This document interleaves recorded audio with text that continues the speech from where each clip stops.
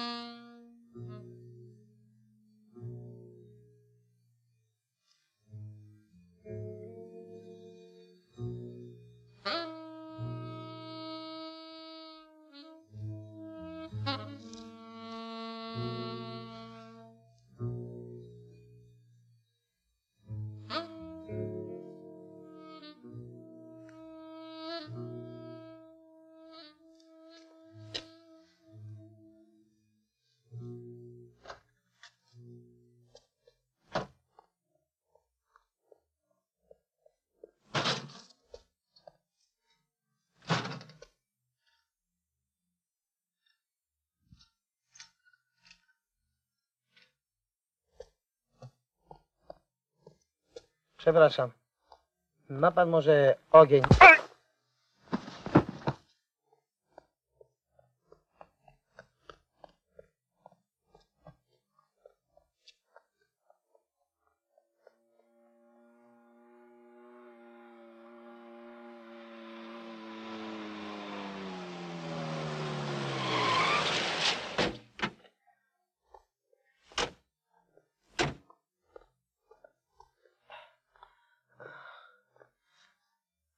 O, Za późno. Dawno wyszedł? Przed chwilą. Furtka.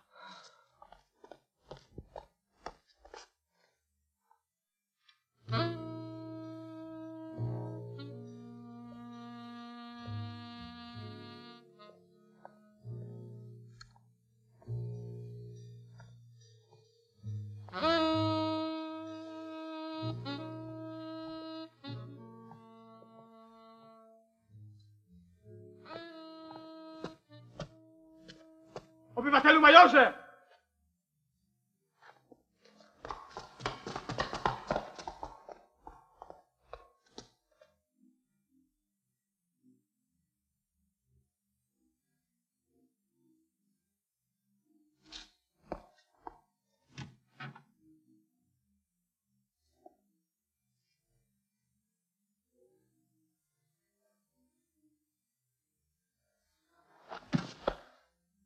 kolego, może to on? Nie. Chyba nie. Nie jesteście zupełnie pewien. Jestem. Tamten nie może być siwy. Tamten wyszedł. To był na pewno on. Obszukać. Ale chyba nic tu nie ma.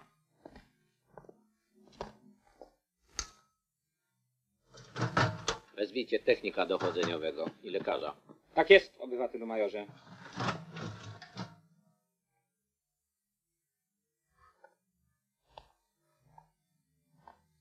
Urządził. Nie tylko nas. Może uda się go jeszcze złapać przed granicą. Akurat. A jeżeli nawet, to co z tego?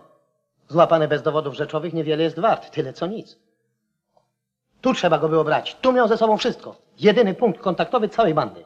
Co do tego jedynego punktu kontaktowego, to kapitan Orlik jest zupełnie innego zdania. Wolno mieć kapitanowi Orlikowi własne zdanie, oczywiście. Tak, słucham. To co wyście tam robili do jasnej cholery? Że co, Orlik? To co z tego? Nie, tam nie zawracajcie mi głowy. Zrobić rewizję oczywiście. Tak. Tak. Dziękuję. Niedawno wymknął się kontrwywiadowi czeskiemu, ale im umknął, a myśmy go puścili. Przyjedzie za rok. Albo i nie przyjedzie, przyślą innego i wszystko zaczynają od nowa. Będzie uciekał na Berlin albo przez Pragę. Jest jeszcze Sztokholm, Kopenhaga i parę innych stolic. Dajcie mi komendę główną MO. Tak jest, obywatelu pułkownik.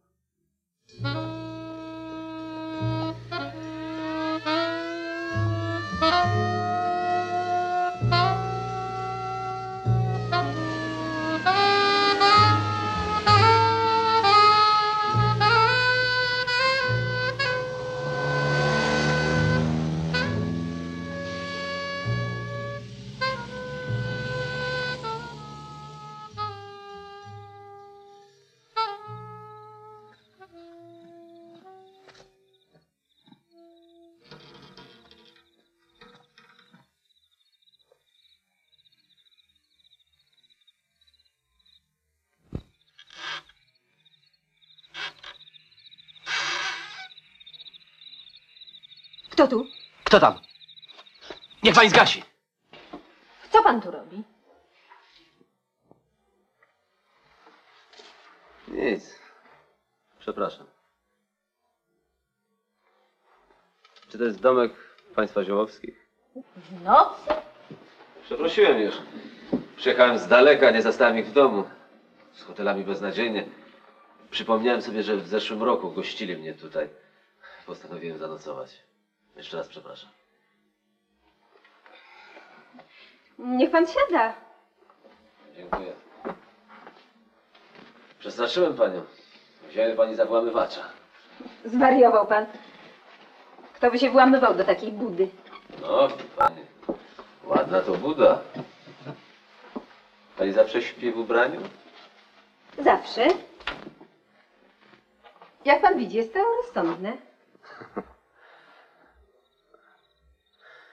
Jeszcze raz przepraszam. Dobranoc. Może niech pan odpocznie. Dostanie pan herbaty.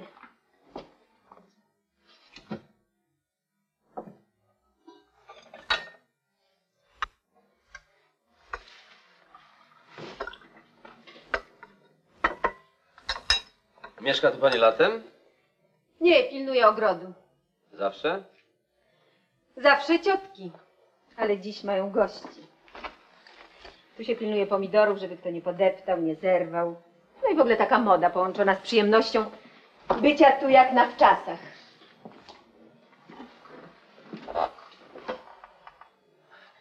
To naprawdę domek Ziołowskich? Ale skądże? Nie znam ich nawet. To nasz domek. A zresztą może. Ciotki kupiły go od kogoś, być może, że od Ziołowskich. Ciotki mają tu działkę. Mieszkamy razem na jedenastym piętrze i nieustannie wożę je z tymi cholernymi pomidorami. To pani samochód ten przed domkiem? Tak. O której pani jutro jedzie do pracy?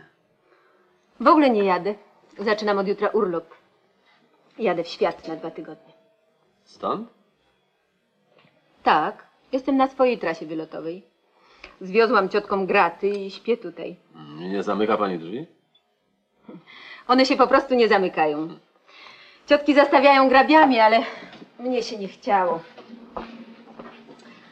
W końcu nie jestem pomidor do ukradzenia. Dokąd pani idzie? Czego pan się boi? Wie pani. Moja sytuacja tutaj. No, moja także. Ostatecznie nie mam zamiaru prezentować pana Sąsiadom. Sprawdzę samochód i w drogę. Szkoda, że pani mnie nie zabiera. Zabiorę pana. Niemożliwe. No jeżeli już pana nocuje.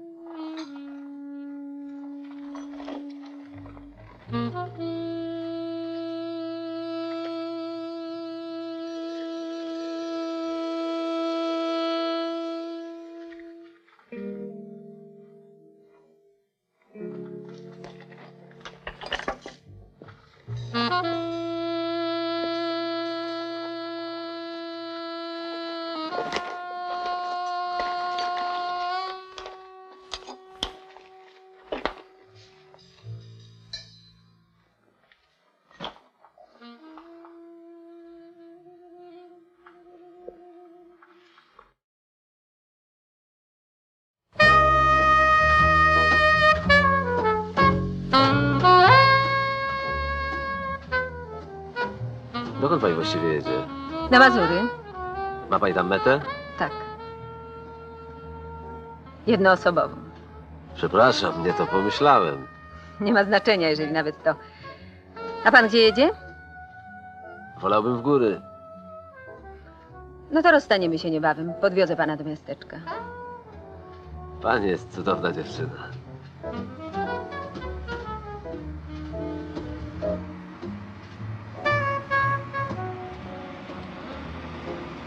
Pewnie kontrol drogowa. Jaka? Nie wiem, kierowcy tak ostrzegają. Nie zna pan tego? Niech pani stanie. Ale po co? Przecież mam wóz porządku. Niech pani stanie! Stój!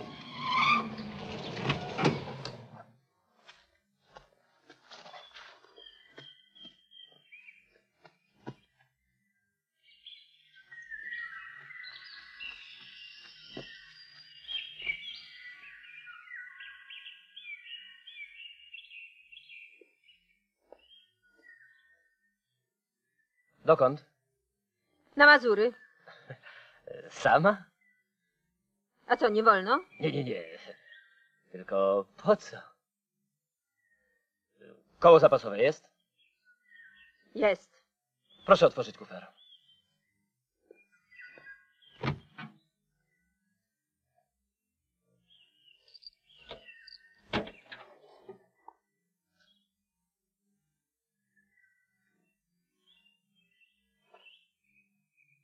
Tak bez bagażu? Siebie wiozę. Mogę jechać? Proszę. Dziękuję.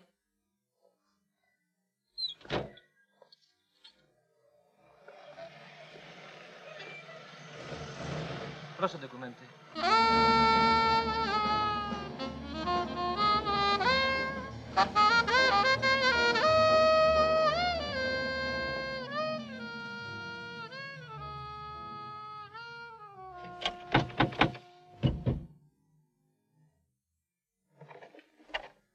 Co pan chce?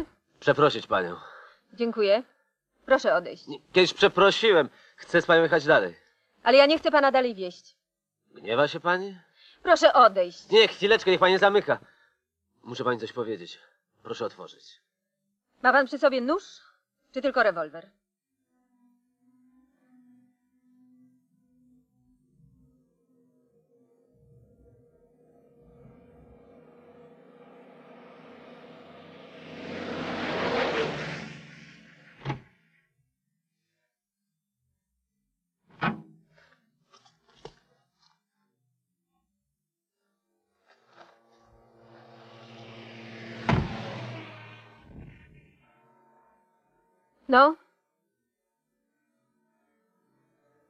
Co i gdzie utkał mi pan w samochodzie?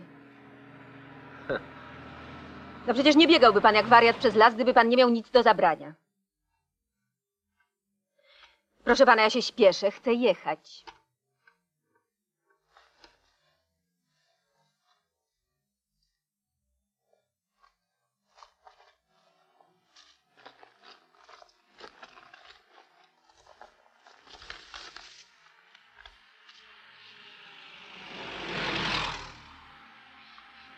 Jak pani to znalazła? Sama chowam tu to, czego nie chcę pokazać innym. Przeważnie listy i zaskórniaki. Dlaczego nie oddała pani tego milicji? Wie pan, właściwie to nie wiem. Ale wie pani przynajmniej, co tam jest. Niech mnie pan nie ma za absolutnie durną. No więc dlaczego? Proszę pana, gdyby był choć jeden procent pewności, że wszystkich, absolutnie wszystkich przestępców uda się wreszcie zwabić pod klucz, oddałabym to na pewno. Mm, słowem, nie oddała pani tego ze strachu.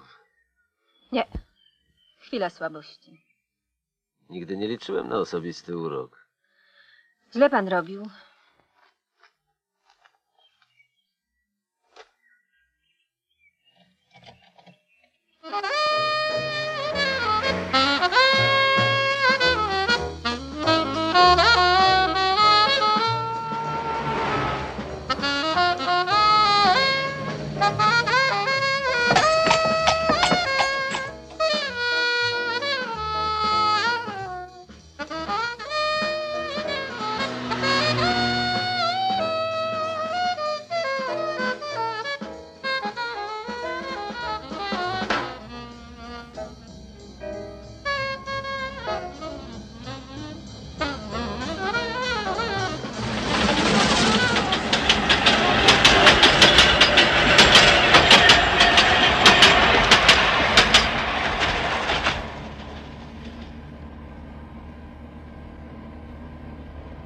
Często pani jeździ za granicę? Byłam raz na wkładkę w Czechosłowacji i raz ze znajomymi w Bułgarii. I warto było wieść te zaskórniaki? Dla mnie warto, przywiozłam sobie kożuch.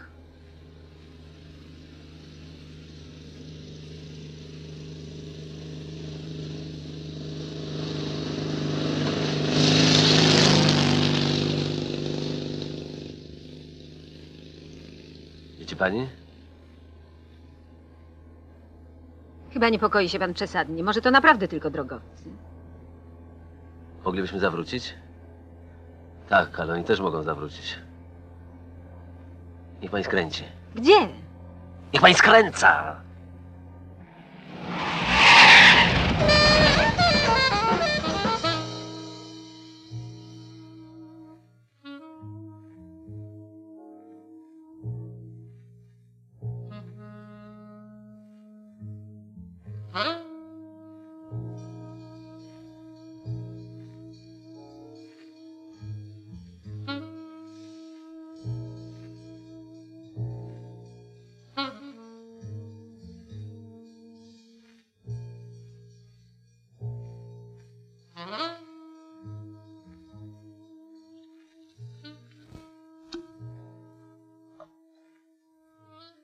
Niech się pan zastanowi, co robić dalej. Cholera jasna. Nie wiem gdzie. Jestem zdany sam na siebie. Tu zawsze krąży milicja. Tak często jak dziś? No, prawie. A widzi pani.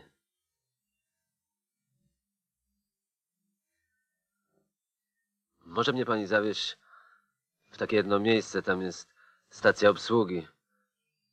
To trochę nie po drodze, ale gdyby się pani nie obraziła, tam zwrócił pani za benzynę.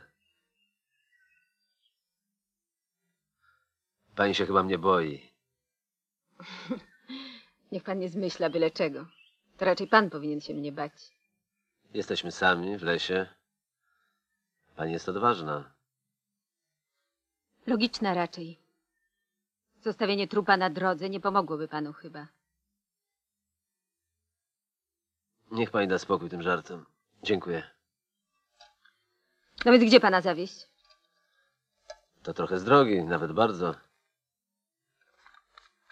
Wszystko jest warte, żeby się pana wreszcie pozbyć.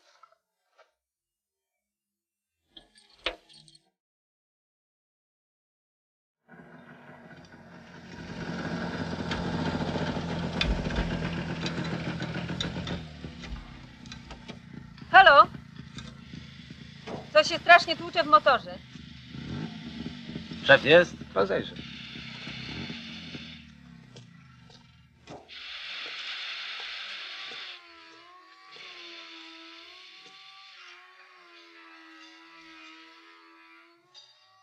O, Co?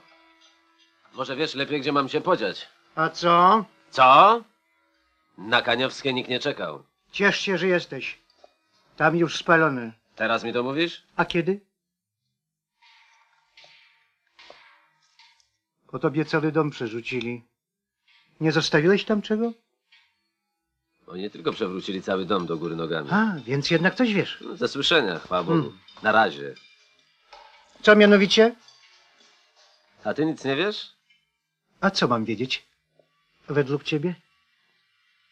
Że znaleźli Ramzesa. Dwa kilometry za miastem, w stanie... Powiedz mi, nietrwałym.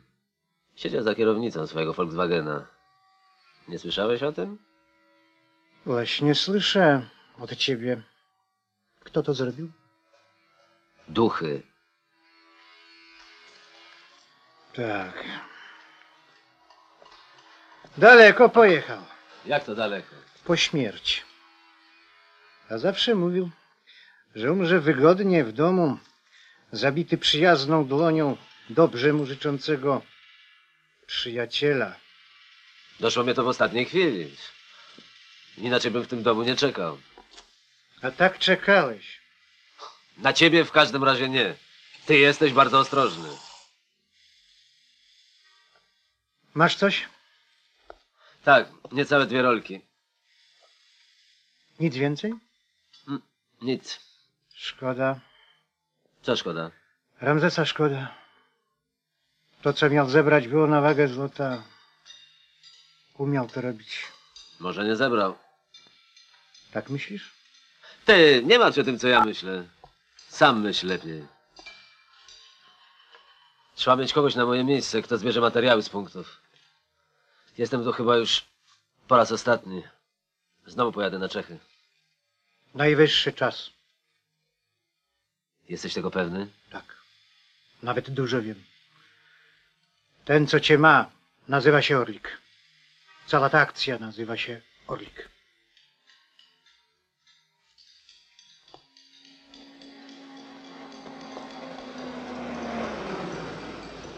Spokojnie. Wejdź tam.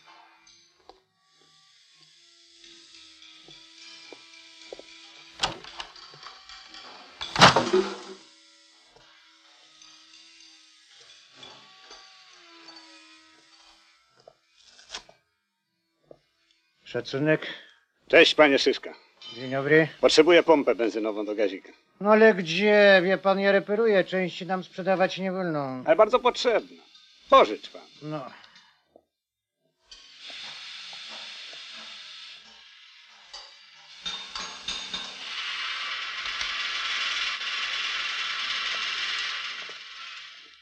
Gonicie kogoś? Ej, panie Szyszka. No proszę. Jutro oddam. E, drobnostka. Dziękuję, zrewanżuję się przy okazji. Uchowaj Boże, panie kapitanie.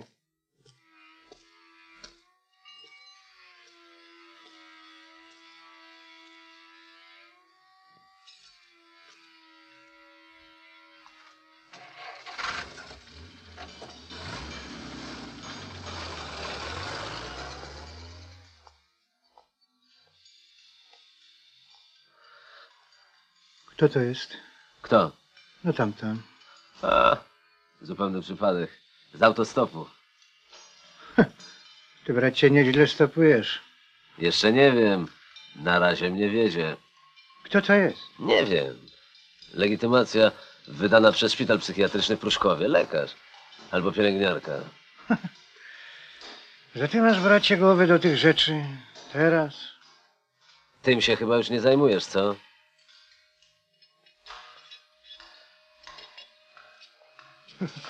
No dobra. Jutro pod wieczór powinieneś dobrnąć. Przenocujesz tam, gdzie zawsze. Hotel zamówiony.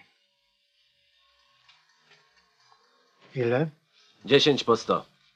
Dobra, dziękuję, bardzo się przyda. Hmm. No to cześć. Cześć. Słuchaj no, a wiesz ciekawe, co właściwie Ramzes tobie wadził? Mnie nic nie wadził. Tobie natomiast wadził traktować mnie poważnie. Myślę, że wyciągniesz z tego jakieś nauki. Dobra. Teraz będę cię traktować bardzo poważnie.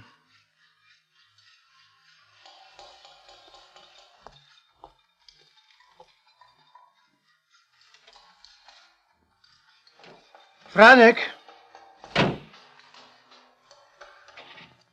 Chodź no tu bliżej. Zapisz numer tej syrenki. Już zapisałem. Dobra.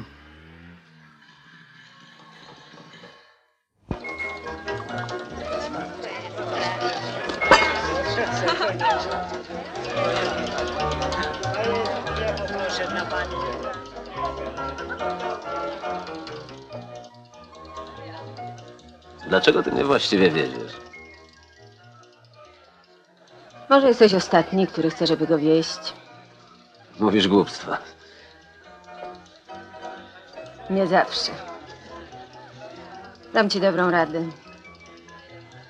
W czasie okupacji wygrywał ten, kto miał bliską kobietę. Kobiety potrafią dużo, jeżeli chcą. Czasem nawet nadstawiają własną głowę. Zamiast. Warto o tym pamiętać. Jesteś świetna dziewczyna. Mówili mi to już. A potem się okazywało, że bez trudu można znaleźć świetniejsze. Hmm.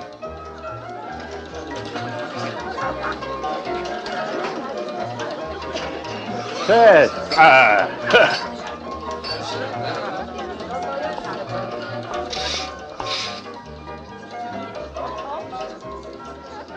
Chodźmy spać.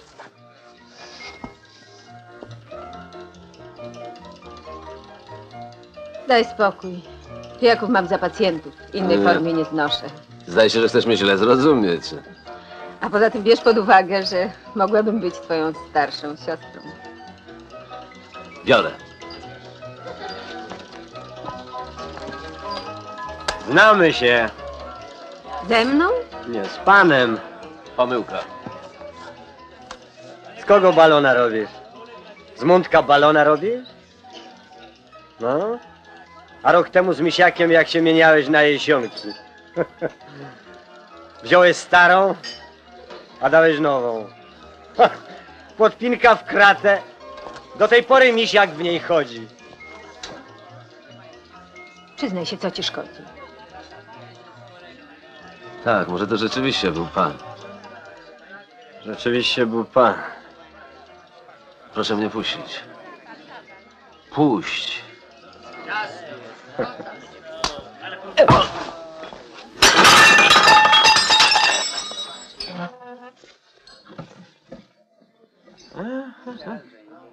아, 아.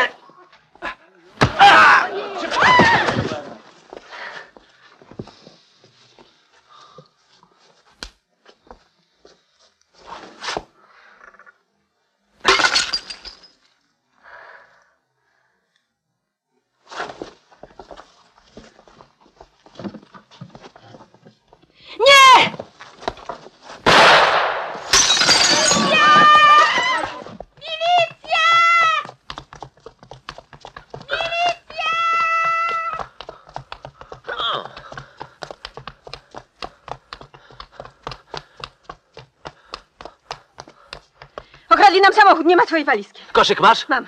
Dawaj klucze. Siadaj.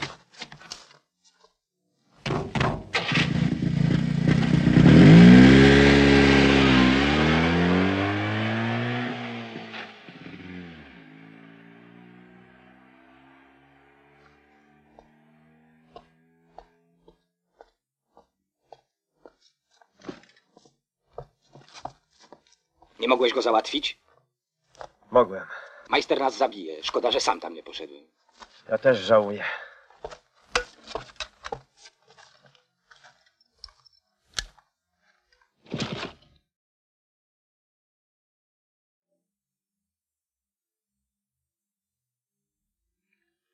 Tu jest kemping.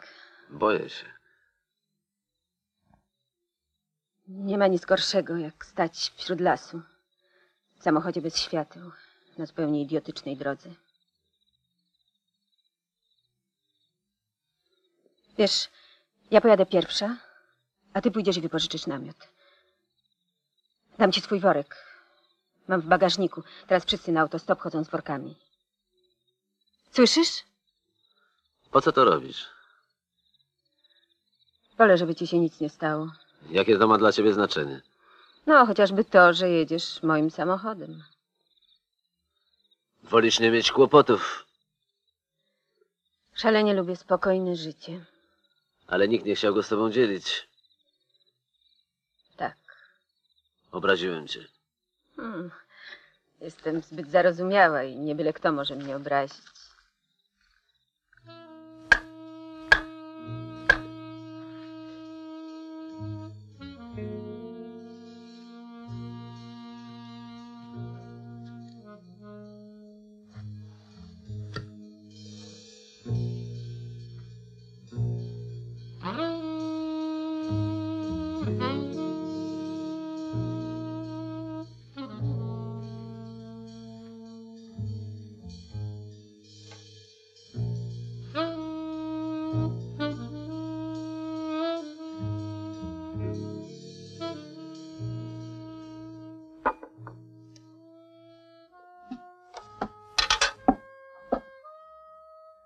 Chcesz? Przepraszam, może masz tu potrzebne rzeczy. Właśnie. Mm. Dobra. Ciotki nazywają je końskie, Czemu? bo z płatków owsianych. Takie oszczędnościowe. Moje ciotki są strasznie oszczędne. Słuchaj. Chciałaś mieć kiedyś dużo pieniędzy? Tylko mi nic nie proponuj. Ja się do tego nie nadaję. Mm. Więc nie chcesz mieć dużo pieniędzy. Nie. A co ty właściwie chcesz? Chcę nie być sama. Już raz to zgadłeś. Cokolwiek bym teraz powiedział, zabrzmi głupio. Nie mów nic. Czy to takie dziwne, że człowiek nie chce być sam? Nie, też nie chciałbym być sam. Pewno tam zostawiłeś kogoś. Wyobraź sobie, że to mnie zostawiono kiedyś. I to tutaj. Długo tu mieszkałeś? Aż wywalili mnie z uczelni Za chuligaństwo. za pochodzenie społeczne. O, to musiało być bardzo dawno, bo teraz już takie rzeczy nie mają znaczenia. Teraz to wszystko mnie już nie obchodzi. Nieprawda. Obchodzi cię jeszcze jak, tylko inaczej. Ciekawe, co ty za to masz? Żyję jak człowiek. A tobie musi być tutaj bardzo dobrze. Bo ja wiem. Wykształcili mnie za darmo. Skończyłam studia, mam pracę, mieszkanie. Tak, kawalerkę z dwiema ciotkami na kupę i, i najtańszy samochód na raty, który ledwo spłacasz. Tak. Słuchaj, co byś zrobiła, jakbyś miała dużo pieniędzy? Nic. Miałabym tylko kłopot. Hm. Nie mogłabym wydawać, bo wszyscy wiedzą, ile zarabiam. Nie mogłabym kupić Mercedesa, bo by się pytali za co. Nie mogłabym odłożyć na PKO, no bo, bo niby z czego. Jesteś świetna dziewczyna. Czy ty kiedykolwiek kłamiesz? Całe życie.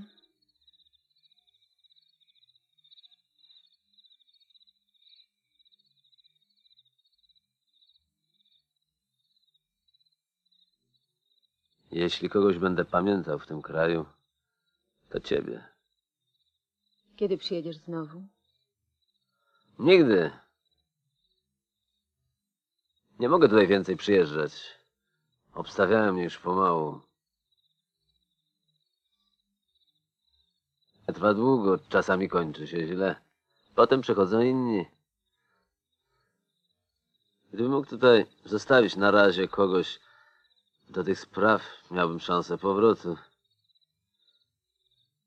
Ale tak nie mam kogo. No, chodźmy spać.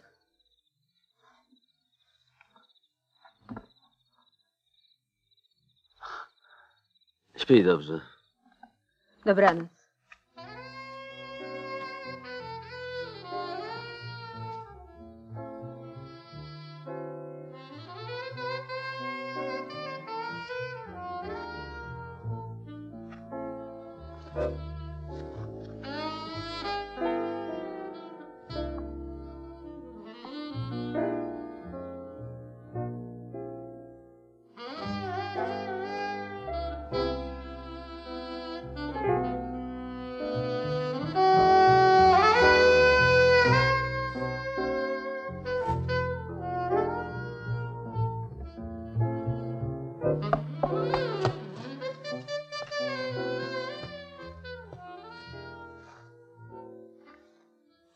Co się stało? Nie, nic się nie stało. Chciałam ci tylko coś powiedzieć. Słucham. Pomogę ci. To jest y, w pracy. No, będę z tobą pracować. Mówiłeś, że jak wyjedziesz, Nie, nie, nie męcz się, rozumiem. Dobrze, bardzo się cieszę. tylko nie myśl, że się w tobie zakochałam. Nie, to nie wchodzi w grę. Po prostu chcę zarobić te pieniądze. Więc nie myśl. Nie myślę.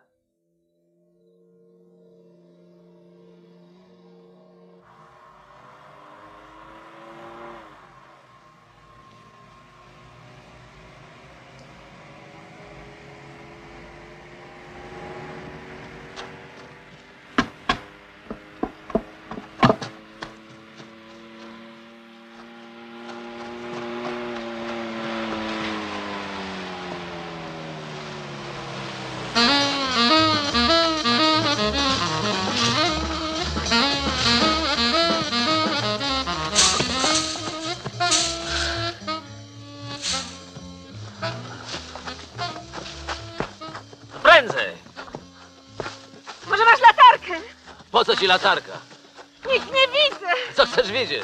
Wymyśliłaś ten idiotyczny kemping. Masz teraz kemping. Prędzej! Stój! Poczekaj, samochód! Jaki samochód? Wracam po samochód. Tam? Tak! Tam! Zostawię tak, żeby mi zabrali! Nie zabiorą, gdyby nawet. O chodź, szkoda czasu. Nie! Ja wracam. No to wracaj. No, wracaj. Idiotko, dokąd? Puść mnie! Co chcesz zrobić? Puść! Co chcesz zrobić? Nic. Chcę jechać na Mazury. Nie chcę z tobą pracować, nie chcę z tobą być. Daj mi spokój. Moja droga, przecież ty już ze mną pracujesz. Tak, cokolwiek by się teraz stało, jesteś moim wspólnikiem. Sama się w to wdałaś. Żartujesz sobie ze mnie. Naiwności Boża. Ze wszystkiego, co ludzkie, żarty są w tej chwili ode mnie najdalej.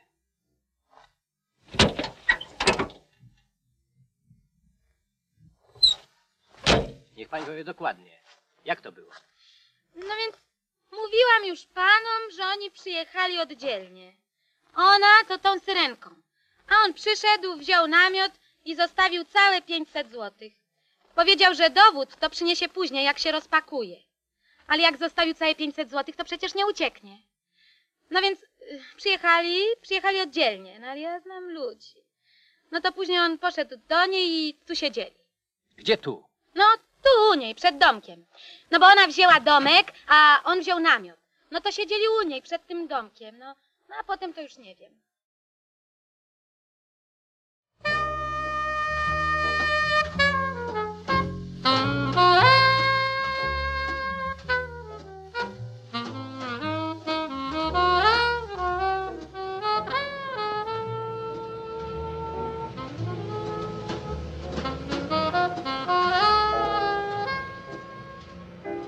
Słuchaj, tam jest tylko jeden mężczyzna, kierownik, reszta same kobiety. Podejdziesz i dasz mu to. I powiesz, proszę pana, chciałbym to spieniężyć. Spieniężyć, nie sprzedać. Ile to jest warte? A jeżeli on nie zechce tego kupić? Na pewno nie zechce. Powie, szanowna dobrodziejko, dobrodziejko, nie pani. Zegarków mamy dosyć. A potem powie, proszę przyjść czwartek, piątek, poniedziałek, nie wiem. To będzie termin.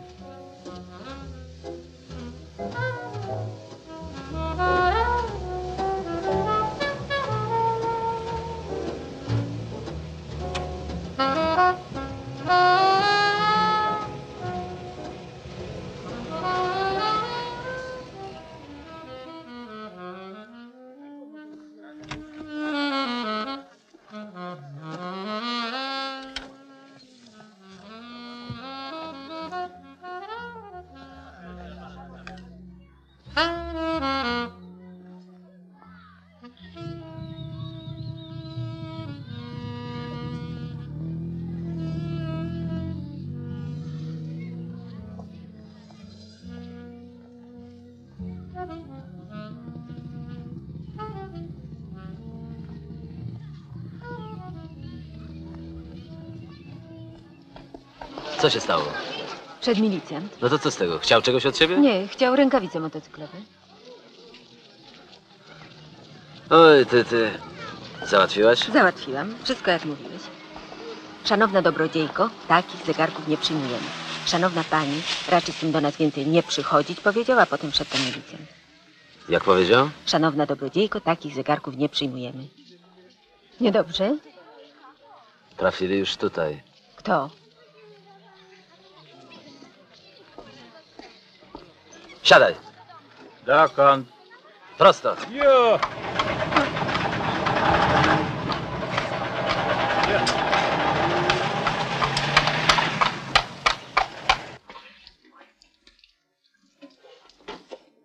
Orlik. Zapamiętasz? To chyba pseudonim. Chyba.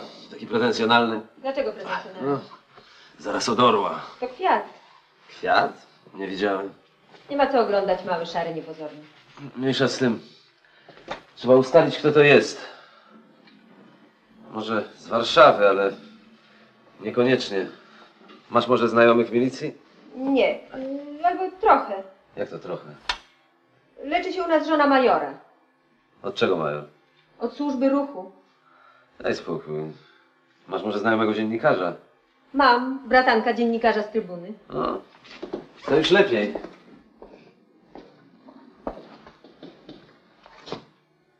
Co, niedobrze? Wspaniale.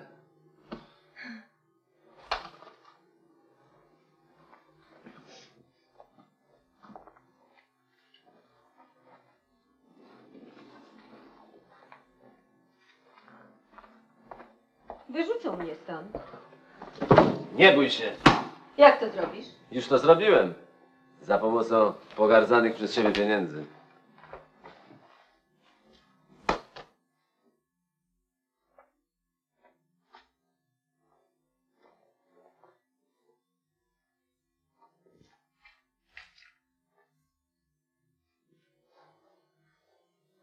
Może lepiej zostaw. Nie, nie mogę. To daj mnie. y, Może ja wezmę do koszyka.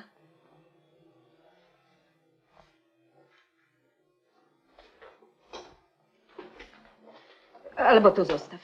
Albo daj. Nie trzymaj jak zdechłego szczura.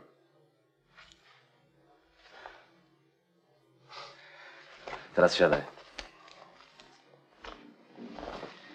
Musimy jeszcze omówić pewne sprawy. Nazwijmy to służbowe. Jestem poniekąd twoim szefem. Miewałam już szefów. Tak, ale w twoim zawodzie są to ludzie mili, łagodni. Różni. Jak chcesz. Słuchaj.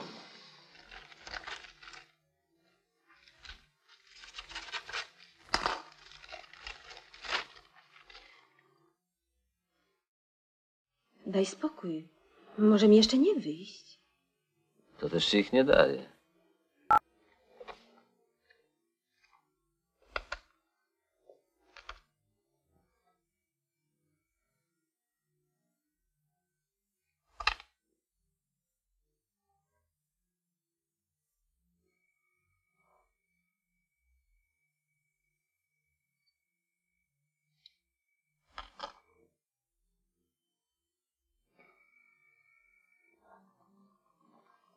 Gwarancja jest obustronna.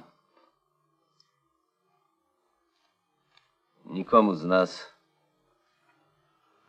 nic z tych połówek.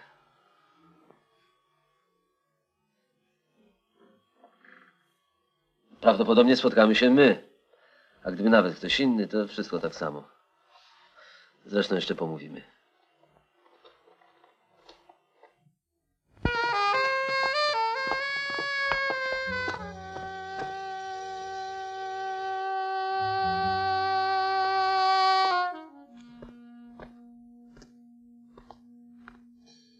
na kolację? Nie za wcześnie? To ja zaczekam w barze.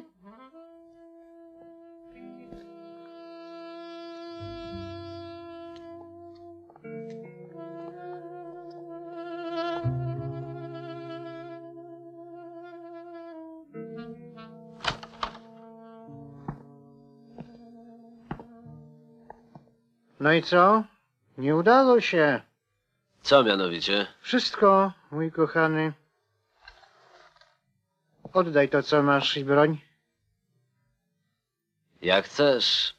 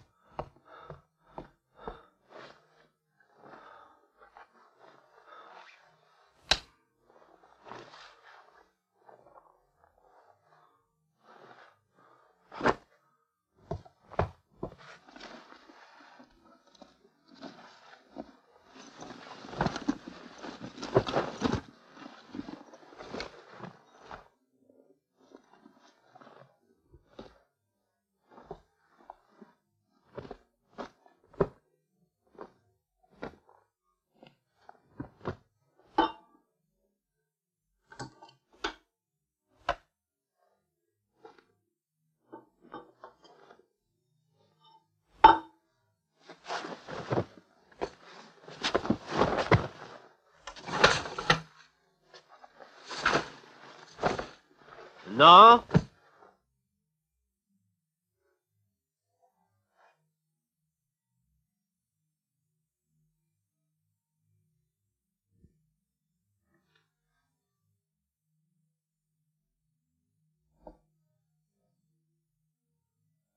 Dobra. Strzelaj. A dlaczegoś ty nie strzelał do mnie? Nie chciałem robić huku. A zresztą nie po to tu przyszedłem. Nie? To po co? Z własnej inicjatywy zabiłeś Ramzesa. Będziesz za to odpowiadał. Również z własnej inicjatywy wiozę materiały, o których ci się nie śniło. Nie uwierzysz, ale śniło mi się, że te materiały zebrał Ramzes. No. Dalej. No.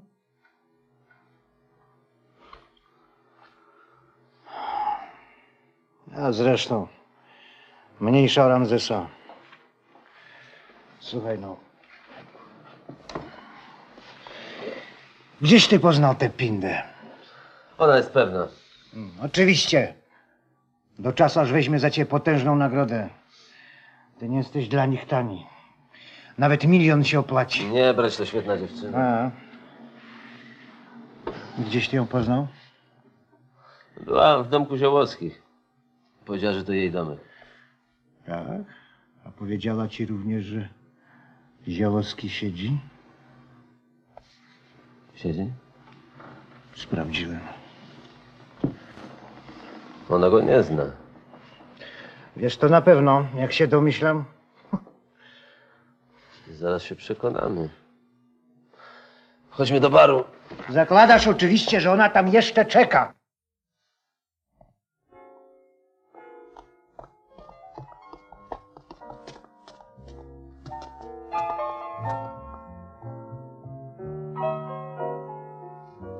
No,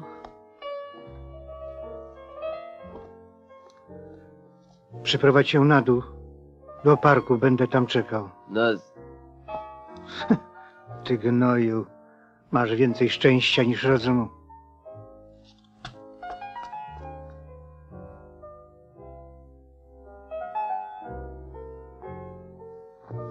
A jesteś. Co to było? a nic takiego. Co chcesz? Kawy? Nie, ale wypić. A może być koniak? Lubisz koniak? Nie wiem, ale to podobno tak elegancko pić koniak. No, powiedzmy, dwa koniaki. Może być radziecki. Proszę.